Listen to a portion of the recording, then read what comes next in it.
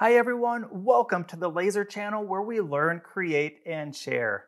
My name is Greg and this is the second video in a series featuring the Onyx 55 watt laser machine by Monport.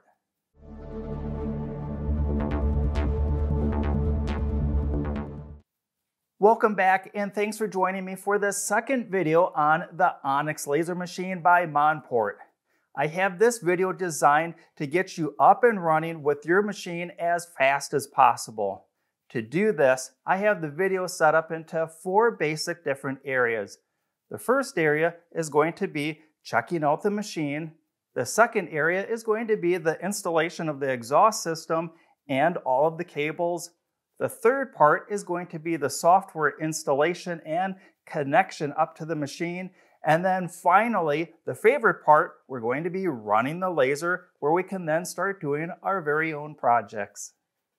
Part one, I'm going to open up the cover here and we're going to do some checks inside of the work area to make sure that the machine will be ready for power up. The first thing I'm going to do is make sure that I have all of the packaging material removed completely out of the entire area of the machine. That sounds pretty basic, but when I move the gantry forward here, we're going to find that there is one last piece of foam that was still in the machine, and that piece was actually pretty important to be removed because we don't want to block this fan. There's also one more piece of packaging, and that is this Velcro strap around the cover for the laser head. That was on there because this laser head is held on with some pretty powerful magnets and it's important that that is removed to make sure that this Velcro does not cover up the access hole for the laser beam. Since I'm working around the laser head, I want to just gently and slowly move the laser module back and forth, making sure it has free range of motion and that none of this uh, cable track here gets hung up on anything. Once that's set, I'll move the entire assembly frame here forwards and backwards, checking for the same thing. Nice, smooth movement. The last thing to check is going to be to remove the cover off the laser head. And I'm going to do a quick inspection of the mirror and the lens to make sure that it is absolutely 100% free of any fingerprints, dust, or debris. I'm also going to check this pass-through mirror tucked up inside the machine here, I'm going to make sure that this too has nothing foreign on it.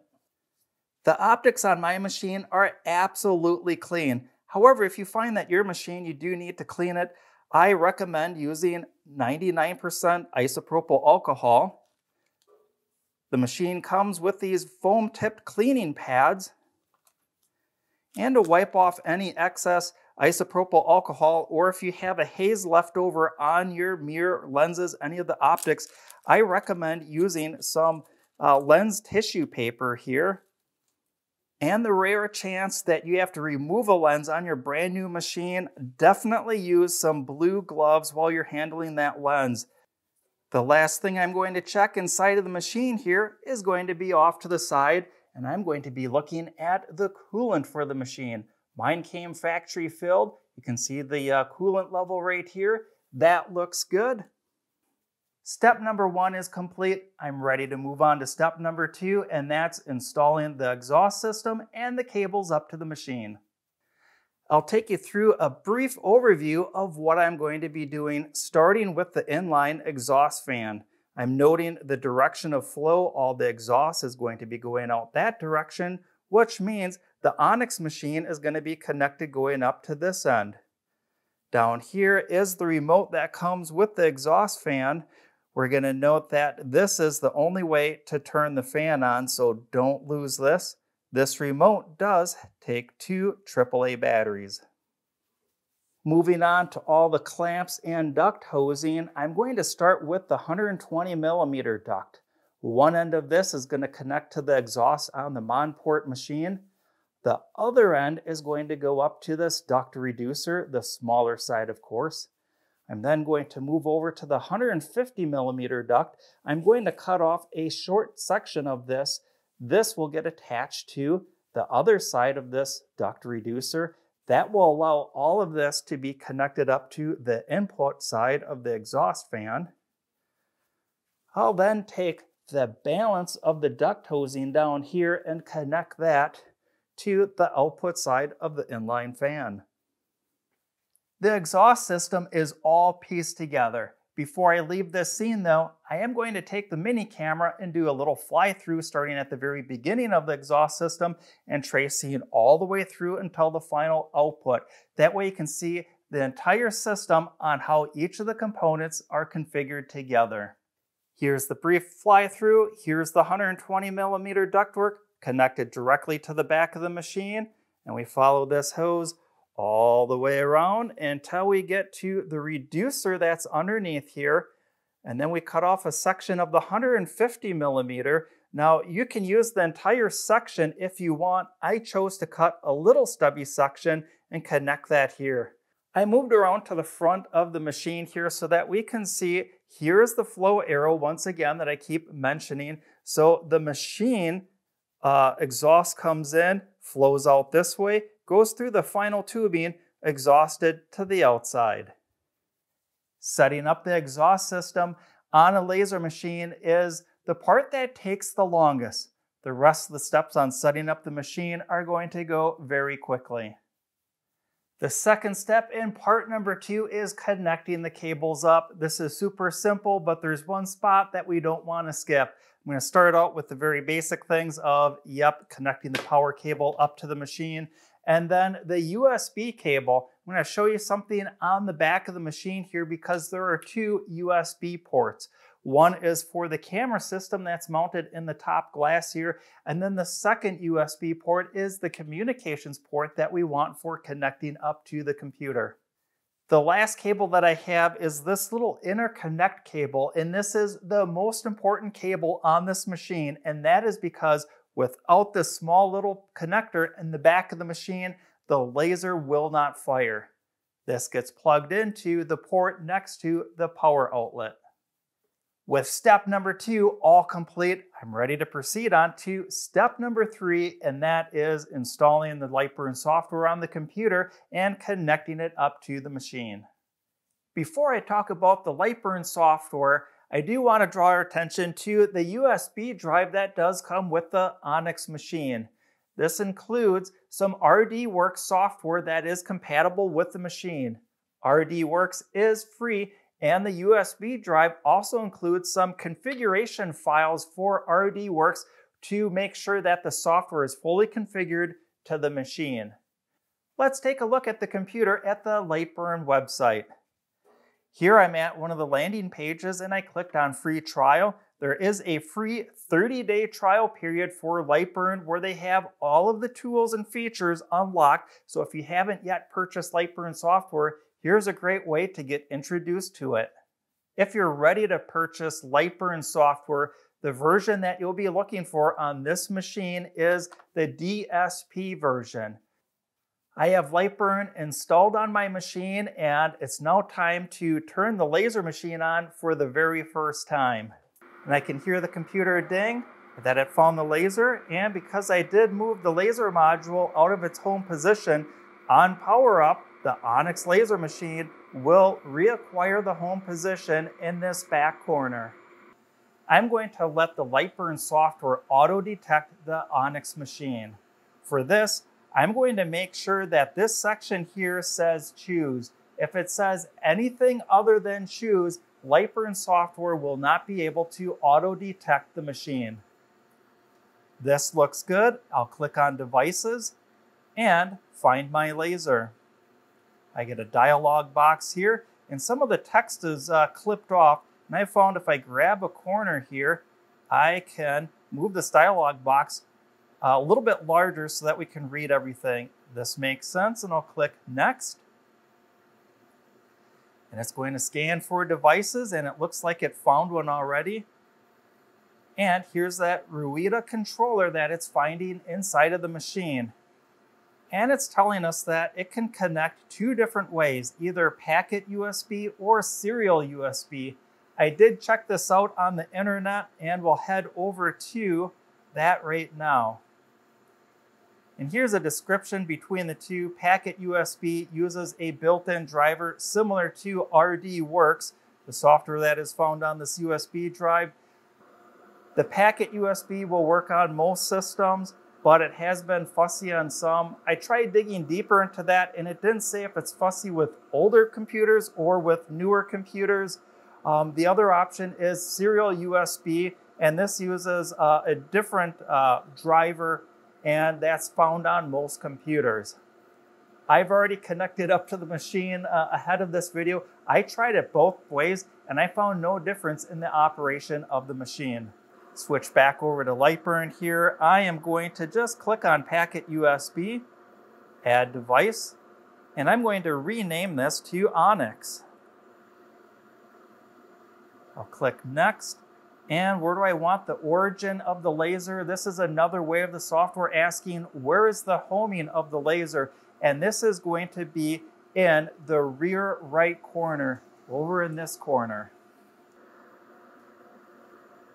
Again, I've got a dialog box here that's clipped off, so I'm going to use my trick of grabbing the corner here and extending that out. Gives me a brief summary of how I'm connected up to the machine, what I renamed it as, the work area of 510 millimeters by 300 millimeters, and the origin or that homing point is going to be in the rear right corner. I can click Finish here. I'll scroll down to the bottom of the list and we'll see the Onyx laser. I can click OK. On my Lightburn software, I have a lot of machines that I have connected up to Lightburn, so I'll need to pull this menu down and go to the bottom of the list. Lightburn software always adds a new machine to the very bottom of the list. If you're doing a fresh install of Lightburn, your machine will automatically be the only one in the list. We'll see here that we're connected and it really is that easy to connect Lightburn software up to the machine. The first thing I want to check out with the software is I want to draw just a box, a random box, somewhere in the middle of the work area of the software. And I'm going to frame that out to see if I can get the software to get the machine to move. Before I do that, I can see that my start from is from the current position and that means if I draw a box, it's going to draw a box, as it says, from the current position in the corner. And I want to use absolute coordinates. To accomplish this, I'll pull this box down and go uh, absolute coordinates. Now this is going to use uh, the X and Y axes of this coordinate plane, and this is how everything knows where it is between the software and the machine. So by selecting absolute coordinates, now the software knows and the machine knows that it is in the home position in this back corner. Now I'll draw this just any size box somewhere in the middle of the work area here and I can click frame and look at that. It is framing out this box I just drew. So just a few minutes ago, we connected the software up to the machine. I just drew a box and we're already framing that out in the work area. The next thing that we're going to do is load some material into the machine, set the focus, and we'll start lasering. The first material I'm going to place in the machine is going to be this three millimeter cardboard that comes with the machine.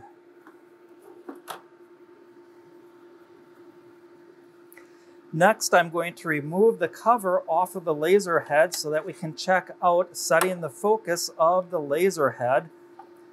Now this focusing lens here, this is a two inch focusing lens. And when we convert that over to millimeters, that is 50.8 millimeters.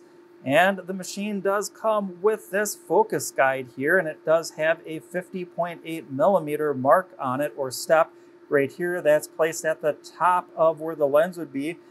One of the tricks that I found is I can lay this gauge down on top of the work material, index the laser head down until the nozzle here just touches the top of the gauge here, and this too will put this laser head in perfect focus. The controls for moving the laser head up and down for setting the focus, that is located inside the software of Lightburn underneath the Move tab and here I'm going to set the uh, distance here at one millimeter. And it's these up and down keys. These are going to move the laser head up or down. I need to move it down a little bit. So I'll just index this down several times until I get the perfect focus.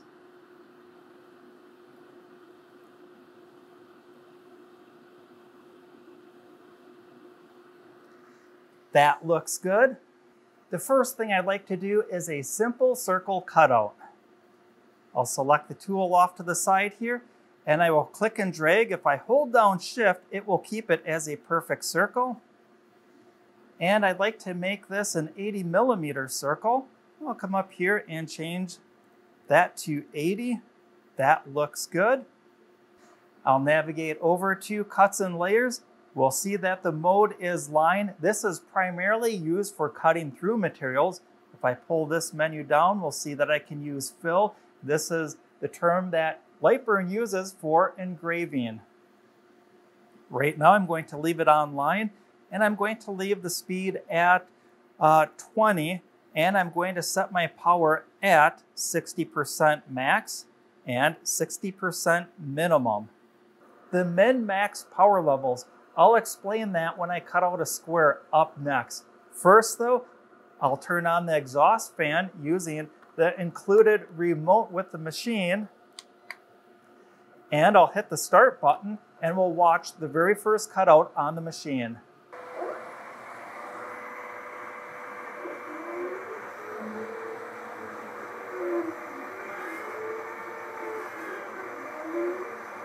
We'll see that the laser moved around like it was trying to laser cut the circle, but nothing happened.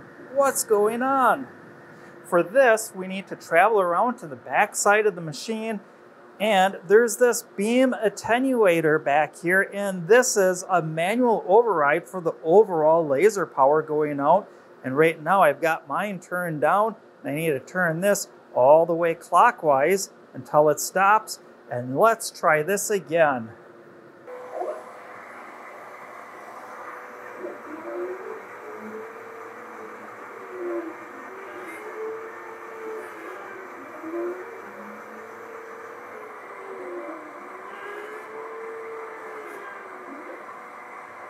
There, now we're marking with the laser. I'll lift the cardboard out and we'll see that that did a perfect cutout of that. The reason why I did a circle is because I wanted to make sure that what I was drawing in Lightburn translated correctly. It also makes sure that all the mechanics of moving the laser head around are set correctly. If I had something like an oval when I drew a circle in Lightburn software, that means I need to troubleshoot something with the system here. This all looks good, and I'm ready to place the material back into the work area here, and we'll draw another shape. I can delete this circle out, select the square tool, and click and drag holding shift will make a perfect square. And I can position this around, I'll move it off to the side here. Now the reason I'm picking a square is to demonstrate what min-max power levels do.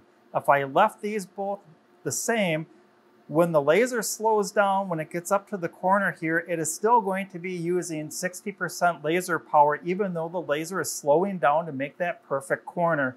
And it's going to uh, either over engrave or over burn that corner.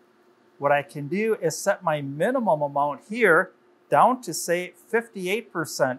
And this way, when the laser gets up to that corner, the laser beam mark will look a lot more consistent.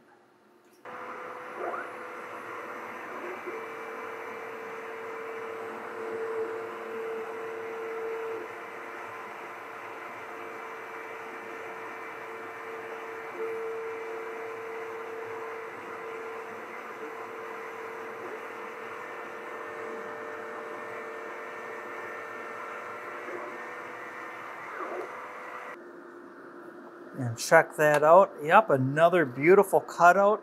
The cutout just drops out onto the honeycomb here. The other reason why I picked a square is because I wanted to be able to take a square and make sure that the machine is cutting at a perfect right angle. I'll check that on two of the sides here and that looks absolutely perfect. Very quickly I was able to cut a perfect circle and a perfect square. Doing these two as the first cutouts on this machine I know I can send any shape out to the workbed area and I know that the laser is going to trace and follow it out perfectly. I have a few tips that I'd like to share with you to help you maximize your enjoyment with the Onyx laser machine. The first one is materials when you're practicing with this brand new machine. I do encourage you to use the cardboard samples that come with the machine. It's a great way to practice cutting and engraving and learning the relationship between the speed of the machine versus the power level of the laser. While you do get five sheets, and that's quite a bit, you'll find that as you start running the machine, you can run through this cardboard very quickly. That's where I like to turn to poster board. I purchased mine from the Dollar Tree, and I especially like the black poster board because it has a white core to it. This way, not only can I practice uh, continuing to do cutouts in Lightburn software, I can also practice engraving and adjusting the speeds and the power level so that I engrave only halfway through the poster board, revealing that white core. The other things we saw in the video, and that was to take that beam attenuator turn dial and make sure it's turned up all the way clockwise the other big thing that I think is going to sneak up on people is this little silver interlock key. This does need to be in the machine in order for the laser to fire. And the last tip that I have for you is about safety. As we saw, the first material I had in the machine is cardboard. It is flammable. So I recommend when you go out and get materials for lasering, Stop by a hardware store someplace that sells a fire extinguisher and keep this very close or attached to the bench that your laser machine is on. I hope that you never have to use this, but if you do, it's nice to know that you've got some fire prevention and safety right next to your laser machine. Thanks for joining me in this second video in a series. Future videos are going to include the camera setup setting up the rotary attachment and making sure it's calibrated, and also doing basic maintenance on the machine to keep you up and running at optimum performance. There's going to be even more videos after that, but those are about the next three videos that I have coming up. I might even spice things up a little bit and do some material performance testing by cutting some thicker wood materials and thicker acrylics. I'd like to know what you'd like to see next by leaving a comment down below. I hope that you enjoyed this video. If you did, please leave a like, subscribe to the channel, or ring that notification bell. It's a great way to know when the next video in the series on the Onyx laser machine comes out. Until next time, learn, create, and share.